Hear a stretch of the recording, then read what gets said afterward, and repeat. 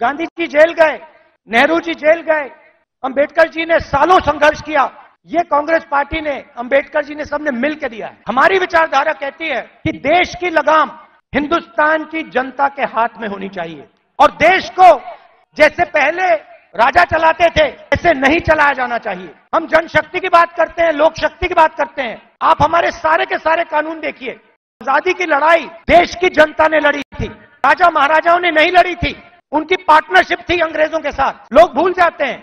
लोग सोचते हैं कि आज़ादी की लड़ाई सिर्फ़ अंग्रेज़ों के खिलाफ थी। नहीं, अंग्रेज़ों की लड़ाई अंग्रेज़ों के खिलाफ थी और राजा महाराजाओं के भी खिलाफ थी। ये सच्चाई है। पार्टनरशिप थी। राजाओं महाराजाओं की अंग्रेज़ों की पार्टनरशिप थी। उसके खिलाफ कांग्रेस पार्टी लड़ी। किसके लिए लड़ी थी? गरीब जनता के लिए लड़ी थी। अगर आप यहाँ साठ, सत्तर, उससे पहले इंडिपेंडेंस से पहले आप यहाँ आते हिंदुस्तान की जनता के कोई अधिकार नहीं थे, महिलाओं के कोई अधिकार नहीं थे। दलितों को छुआ नहीं जाता था। ये आरएसएस की विचारधारा है। ये हमने बदला है। एक बार फिर ये हिंदुस्तान को वापस ले जाना चाह रहे हैं। तो आज़ादी से पहले था, वहाँ हिंदुस्तान को वापस लौटा रहे हैं। कॉन्स्टिट्यूशन से, आपके वोट से अलग अलग संस्थाएँ बनती हैं। ये आपकी संस्थाएँ हैं। सुप्रीम कोर्ट हो, इलेक्शन कमीशन हो, ये आपकी संस्थाएँ हैं। सारे के सारे इंस्टीट्यूशन पर ये कब्जा कर रहे हैं। आप हिंदुस्तान की सारी यूनिवर्सिटी देख लीजिए। सारे के सारे वाइस चांसलर आज एक संगठन के हैं। उनको आता होता कुछ है नहीं। कुछ नहीं आता उनको। हिंदुस्तान के वाइस चांसलर आज मेरिट पे नहीं बनते हैं। हिंदुस्तान के वाइस चांसलर आज अगर एक संगठन में हैं, तब बन सकते हैं। तो सारे के सारे जो इंस्टीट्यूशन हैं, जिससे आपकी आवाज़ की रक्षा होती है, जिससे आप देश को चलाते हो, इन सब का ये कब्जा कर रहे हैं। मीडिया को देख लीजिए।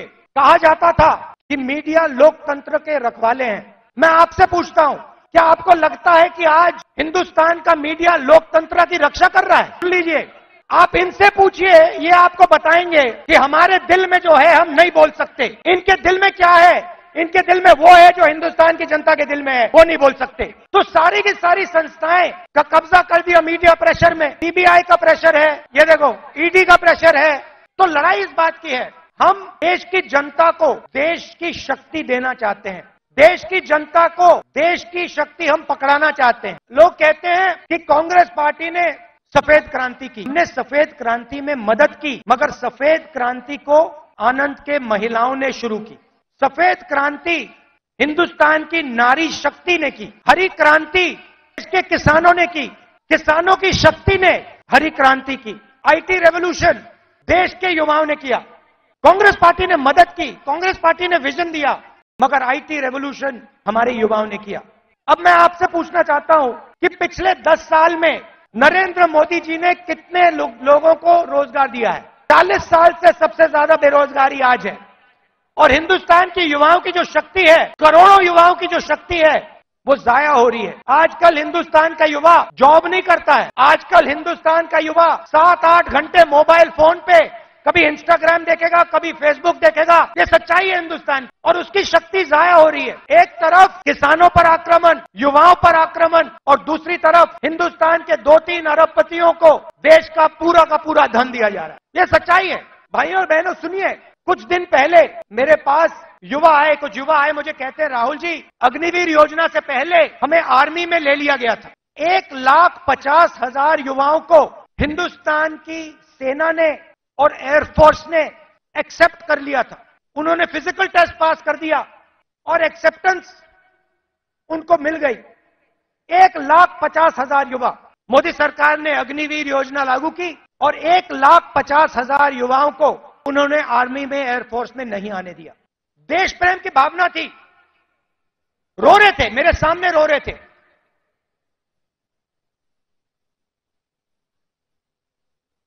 आँसू आ रहे थे, कह रहे थे, सरकार ने हमारी ज़िंदगी बर्बाद कर दी है, ज़िंदगी खत्म कर दी, हमारा मज़ाक उड़ाया जाता है। गाँव में हमें झूठे सैनिक कहा जाता है। इतनी भी इज़्ज़त नहीं रखी।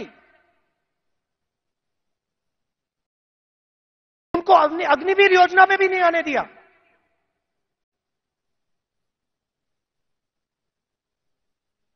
बाहर उठा के फेंक दिया। फिर कहते हैं, हम देशभक्त हैं।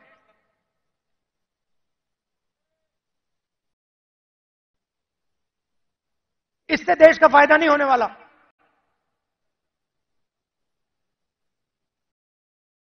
और पूरा का पूरा फ़ायदा, देश का धन चुने हुए लोगों के हाथ में जाता है। मैंने पार्लियामेंट में सवाल पूछा बीजेपी के लोगों से पूछा, हिंदुस्तान को 90 लोग चलाते हैं,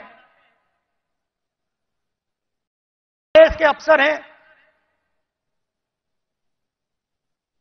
पूरे बजट को बांटते हैं।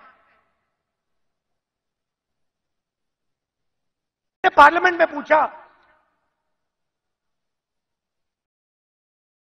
कि इनमें से ओबीसी कितने हैं? दलित कितने हैं? आदिवासी कितने हैं?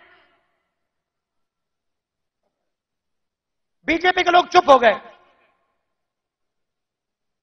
ओबीसी की कम से कम 50 परसेंट आबादी है। दलितों की 15 परसेंट आबादी है। आदिवासियों की तकरीबन 12 परसेंट आबादी है।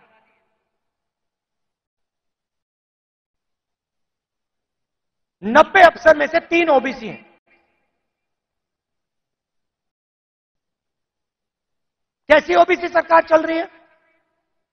उनको कोने में बैठा देते हैं। छोटे छोटे डिपार्टमेंट पकड़ा देते हैं।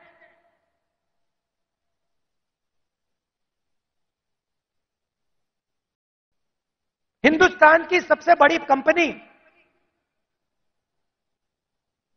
100-200 सबसे बड़ी कंपनी की लिस्ट निकालो।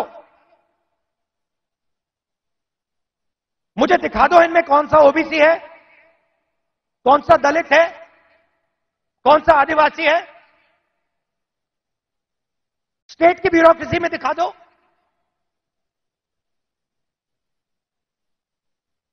आबादी आपकी 50 परसेंट, दलितों की 15 परसेंट आदिवासियों की 12 परसेंट।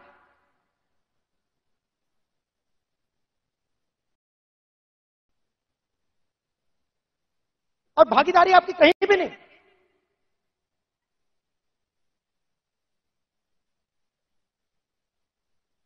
टॉप कंपनीज़ का नाम के नाम निकालो। और मुझे दिखा दो। इन कंपनियों में ओबीसी कहाँ बैठा हुआ है? दलित कहाँ बैठा है? आदिवासी कहाँ बैठा है?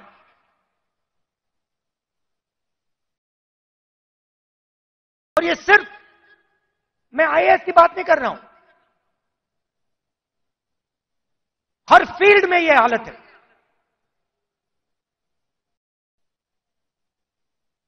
तो मैंने सवाल पूछा, मैंने कहा, देखिए, जाति जनगणना होनी चाहिए। देश को पता लगना चाहिए कि इस देश में ओबीसी कितने हैं? उसके बाद नरेंद्र मोदी जी के भाषण बदल जाते हैं। पहले अपने आप को ओबीसी कहते थे। मेरे भाषण के बाद कहते हैं, हिंदुस्तान में तो सिर्फ़ एक जात है, वो भी गरीब। अगर हिंदुस्तान में सिर्फ़ एक जात तो आप ओबीसी कैसे बन गए?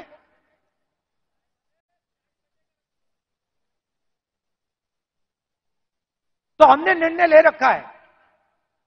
जैसे ही हमारी सरकार आएगी, दिल्ली में आएगी, हम जाति जनगणना आपके लिए करके दिखा देंगे।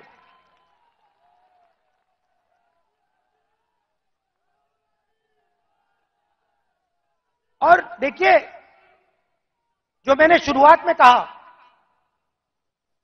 यह विचारधारा की लड़ाई है। करोड़ों लोगों को बीजेपी की सरकार ने गरीबी में फिर से धकेल दिया है। जो काम हमने भोजन के अधिकार से, मनरेगा की मदद से किया, वो सब खत्म कर दिया इन लोगों ने। और हमें दो हिंदुस्तान नहीं चाहिए। एक हिंदुस्तान अरबपतियों का, मीडिया वालों का, सेलफोन वालों का। सपने का। उसमें कोई सच्चाई नहीं है।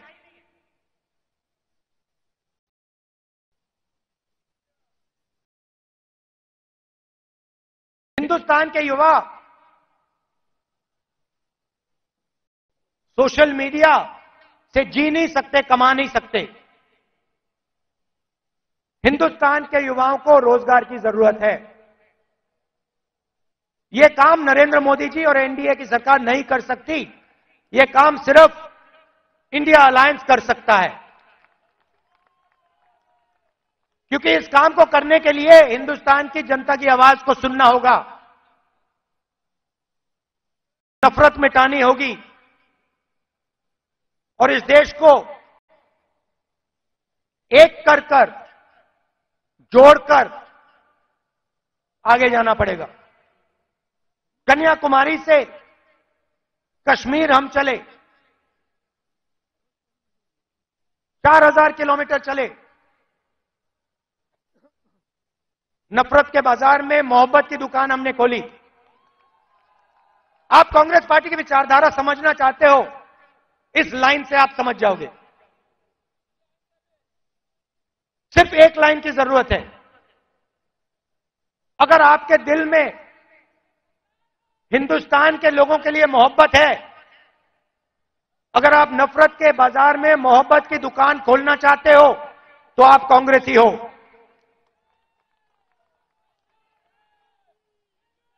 मैं कांग्रेस पार्टी के कार्यकर्ताओं से आखिरी बात बोलना चाहता हूँ।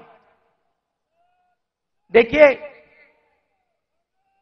ये जो पार्टी है, और महाराष्ट्र के कार्यकर्ताओं से खासतौर से बोलना चाहता हूँ, क्योंकि आप स्पेशल हो। मैं महाराष्ट्र में चला, मैं जब भारत जोड़ो यात्रा में चल रहा था, जैसे ही मैं महाराष्ट्र के अंदर आया, मैंने सोचा कि देखो, ये कांग्रेस की ज़मीन है। ये कांग्रेसियों की ज़मीन है इस ज़मीन में लोगों को कांग्रेस की विचारधारा बिना समझाए समझ आ जाती। है और अगर हमारी लड़ाई शुरू हुई तो महाराष्ट्र से हुई थी, इसलिए हम यहाँ नागपुर में आए हैं। आपसे बात करने। तो आप बब्बर शेर हो। आपको किसी से नहीं डरना। आप नहीं डरते हो। आप बब्बर शेर हो। और आपकी विचारधारा की लड़ाई है। आपके दिल की लड़ाई है। और आप आप और हम मिलकर, आप और हम मिलकर महाराष्ट्र में और पूरे हिंदुस्तान में चुनाव जीतने जा रहे हैं। कुछ दिन पहले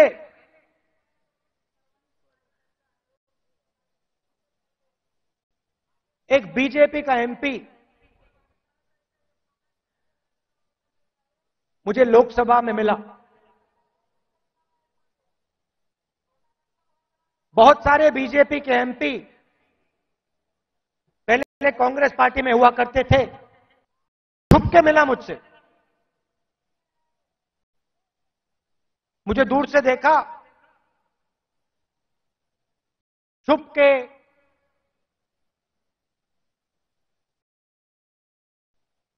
डर से कहता है, राहुल जी, आपसे बात करनी है।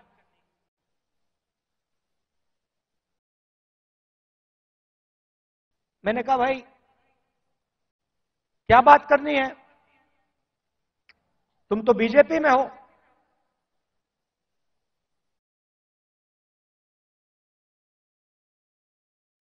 और फिर उसके चेहरे पे थोड़ी सी टेंशन दिख रही थी।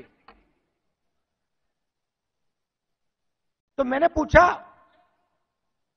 सब कुछ ठीक है क्या? मैंने सोचा, शायद घर में कोई बीमार हो, कोई दुर्घटना हो गई हो मैंने पूछा, सब कुछ ठीक है? कहता है, नहीं.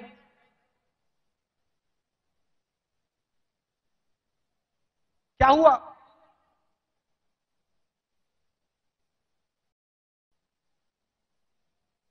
राहुल जी, बीजेपी में रहकर सहा नहीं जाता।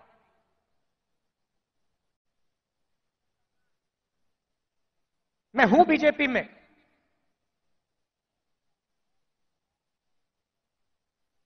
मगर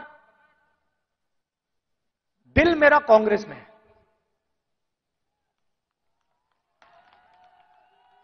तो मैंने कहा, भाई, दिल तेरा कांग्रेस में शरीर आपका बीजेपी में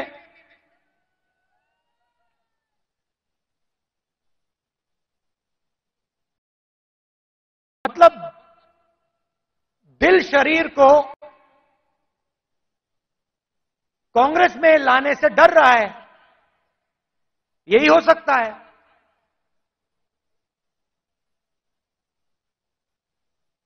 मैंने कहा,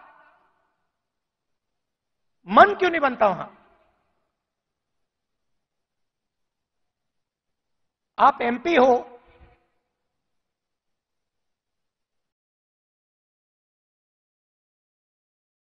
आप मुझे हिंट दे रहे हो। मन क्यों नहीं बनता?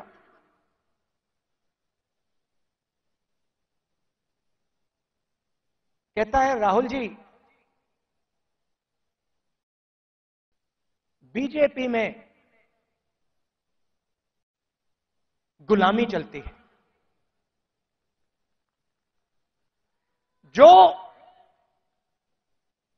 ऊपर कहा जाता है।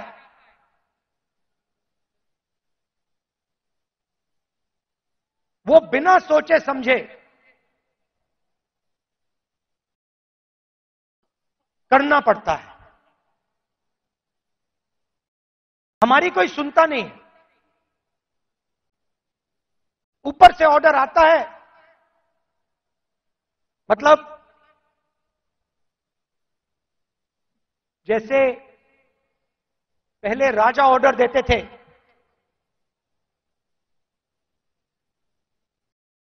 ऊपर से ऑर्डर आता है और उसका पालन करना पड़ता है। अच्छा लगे, ना लगे चॉइस नहीं होती। आपको याद होगा, हमारे जो पीसीसी प्रेसिडेंट हैं, पटोले जी ये हैं। इन्होंने प्रधानमंत्री से एक सवाल पूछ लिया था। एक सवाल पूछा था। किसानों के बारे में क्या सवाल था?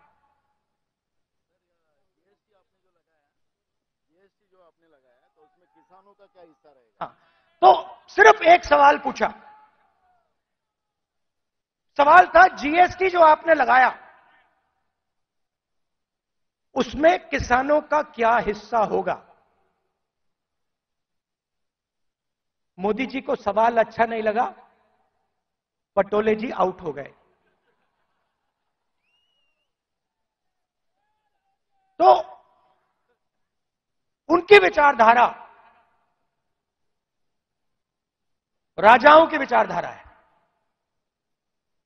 किसी की सुननी नहीं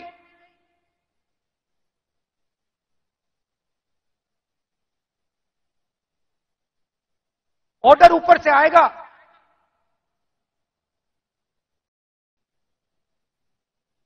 आपको ऑर्डर का पालन करना पड़ेगा।